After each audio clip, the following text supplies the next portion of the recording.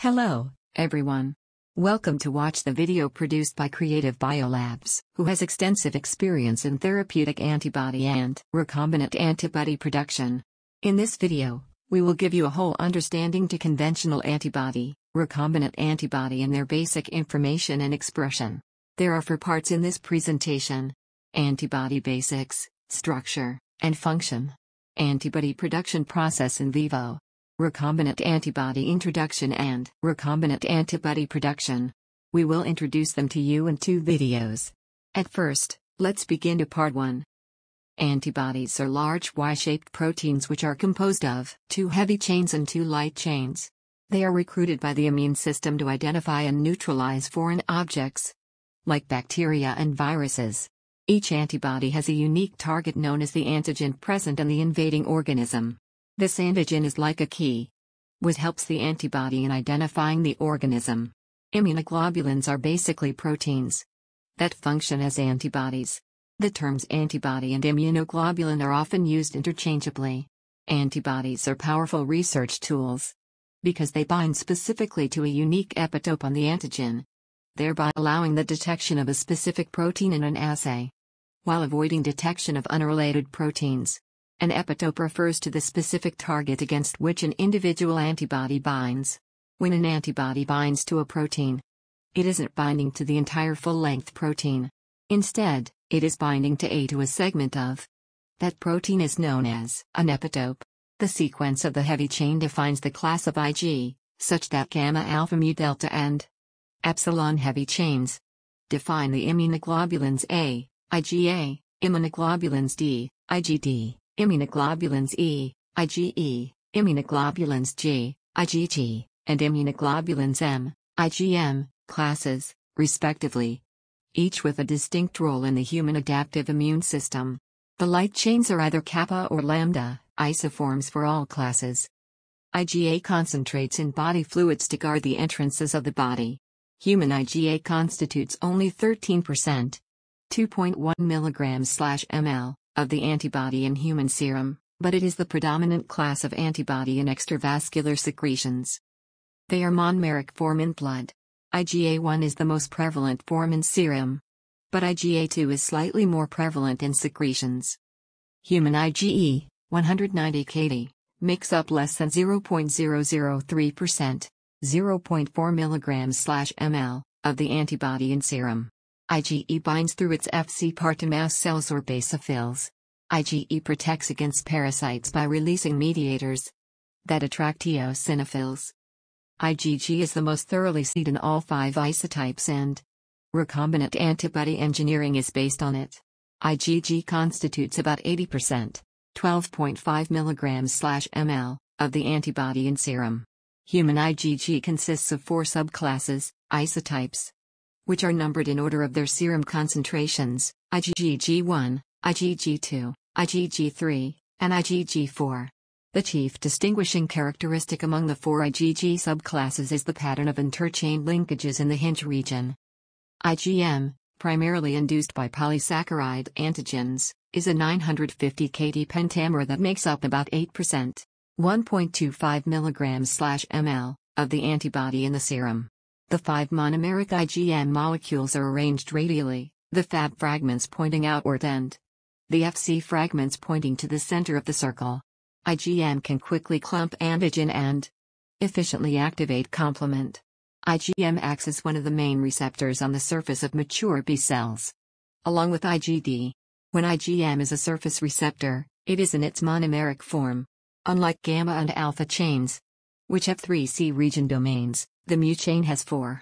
The five carbohydrate groups are in the CH1 and CH3 domains and, in the part of the mu chain where the J chain binds, we explained the function of antibody.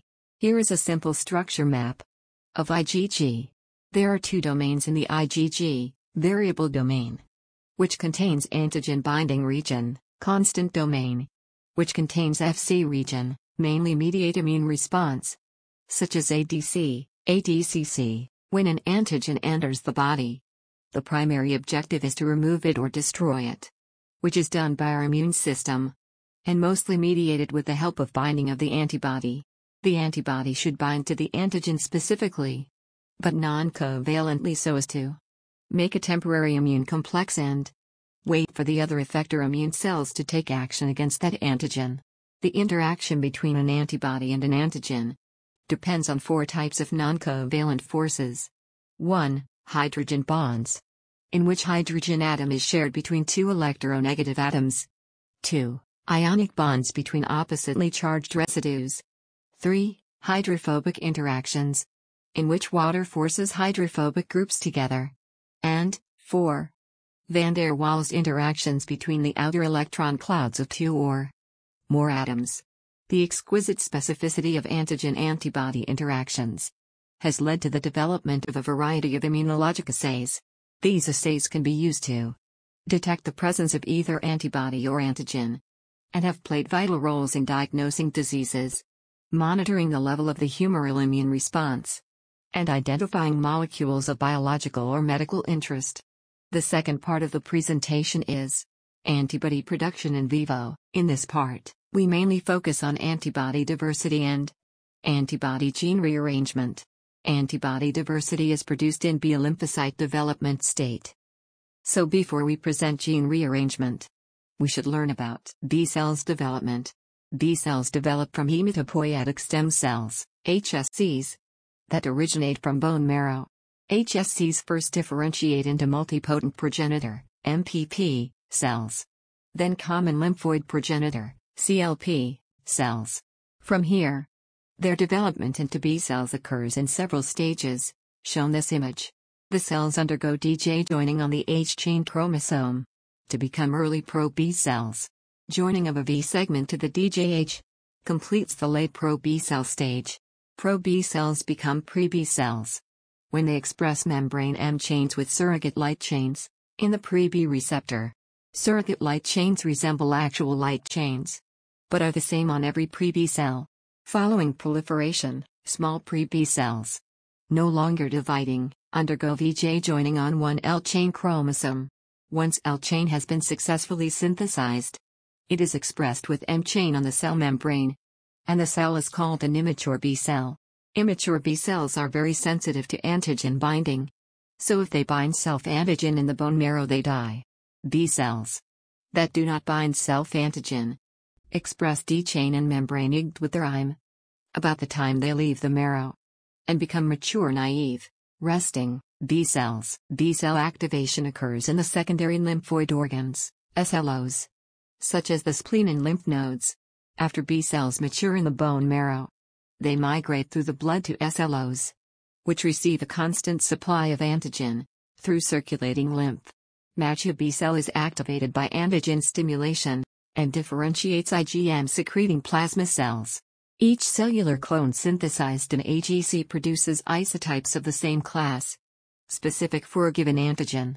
During the evolution of immune responses, there is a class switching in Ig classes from IgM to IgG, IgA and IgE.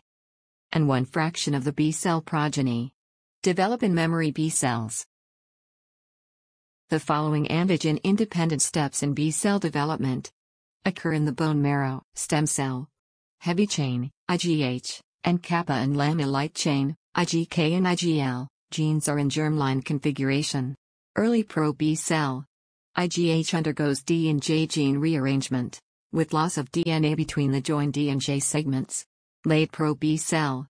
IgH undergoes V and DJ rearrangement, VDJ rearrangement with loss of DNA between the joined V and D segments. Small pre-B cell. The end rearrangement of light chain genes. Kappa alpha chain is rearranged first. Then if rearrangement of both kappa alpha alleles is unsuccessful. Lambda chain is rearranged. Large pre-B cell. Intracellular expression and transient surface expression of M chain. With invariant pseudo light chain. Pre-B cell receptor. The following antigen-dependent steps in B cell development take place in the periphery. Immature B cell. IgM surface expression. In the most common scenario, AVDJ segment joins first, with C mu genes, and subsequently with C gamma, C epsilon, C alpha genes, with synthesis of a complete HIM chain, etc., without an associated L chain. Surface expression is not possible and only cytoplasmic mu is found, pre-B cells. Mature naive B cell.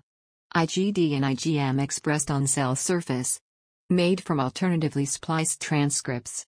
Lymphoblast. Alternative splicing results in secreted IgM. Memory B cell. Isotype switch to IgG.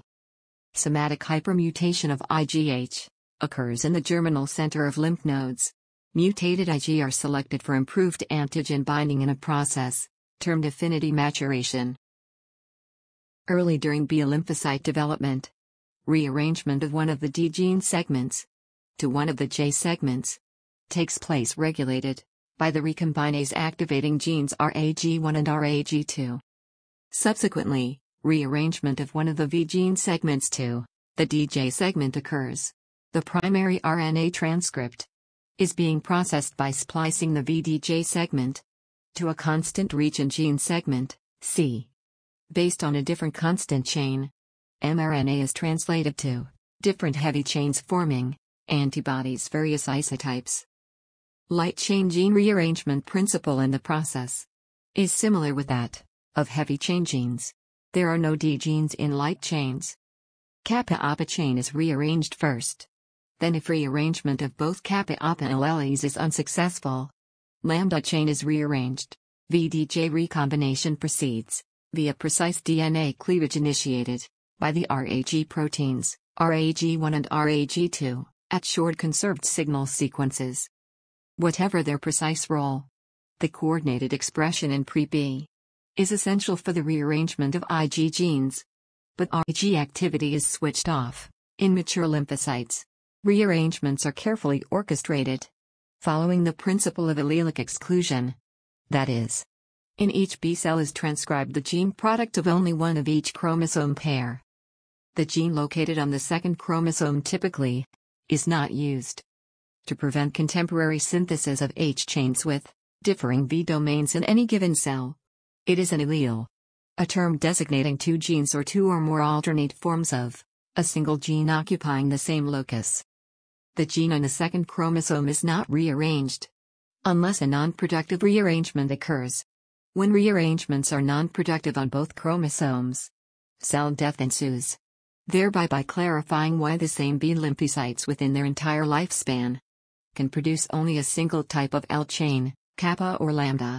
IGV, D, and J gene segments are flanked by conserved recombination signal sequences, RSS, consisting of a heptamer, and a separated by a non-conserved spacer of either 12 or 23 nucleotides.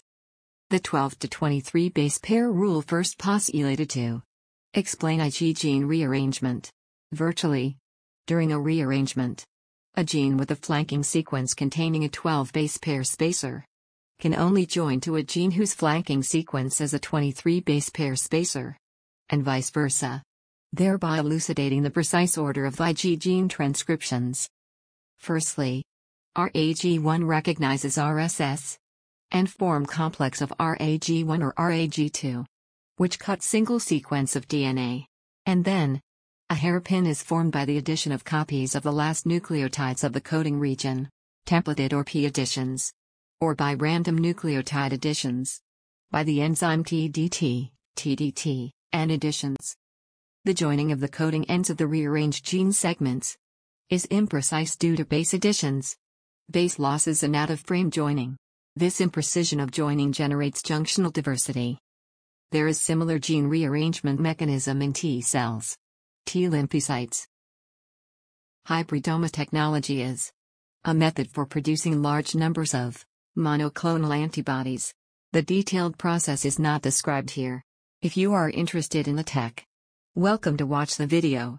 Name Development of Monoclonal Antibody. Which created by Creative Biolabs. The production procedure can be seen in the right map. Here, we will introduce our hybridoma technology. To produce high-quality monoclonal antibodies, there are many advantages, for example. 1. Extensive experience. Over 100 hybridoma projects completed. Through the company history. 2. Multiple species hybridoma generation. We offer immunization and hybridoma generation from mice, rats, hamsters, and guinea pigs. 3. Antibody development against various targets. Successfully generated antibodies against protein, peptide, hapten, polysaccharide, bacteria, virus, membrane protein. 3. High immunization success rate. Facilitated by the magic adjuvant, the success rate of animal immunization is at 90%. 4. High screening capacity. Routinely screening for more than 500 clones to identify positive clones. 5. High positive clone rate. More than 10 positive clones, identified with top 3 positive clones delivered. 6. Comprehensive downstream process development options. Hybridoma sequencing. Antibody recombinant expression. Antibody humanization. Antibody modification. And engineering, in vitro or in vivo assay development. ELISA kit development. Antibody pair searching for sandwich ELISA. Antibody functional assay development. To offer you a comprehensive experience, in your lead antibody candidate discovery projects. If you have any questions about recombinant antibody, welcome to contact us at info at creativebiolabs.com or call us at 1 631 381 2994. See you in the next video.